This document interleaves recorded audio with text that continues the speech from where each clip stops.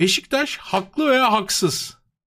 Bu 4 puanın 5 puanın peşine düştüğü zaman bu der 4-5 puanın Beşiktaş hanesine yazılması. Yıllarca Hatay'da, Antep'te, Adana'da her maça çıktığında yaşayacaklarından kamuoyundan gelecek tepkilerden. Bu prestij kaybından daha mı kıymetli? Beşiktaş camiasının bu 4-5 puan mevzusunu bir an evvel kapatması lazım. Yani bu işi bir an evvel kapatması lazım. Yani hakkını arayacağın yer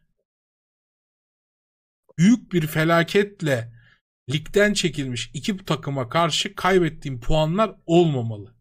Bu Beşiktaş markasına zarar veriyor ve emin olun Güneydoğu Anadolu'da, Doğu Anadolu'da Beşiktaş'ın prestijine çok ciddi zarar veriyor. Bunu bugün fark etmeyeceksiniz ama bir sene sonra, bir buçuk sene sonra, iki sene sonra bahsettiğim şeyi anlayacaksınız. Beşiktaş markasına şu mevzular zarar veriyor.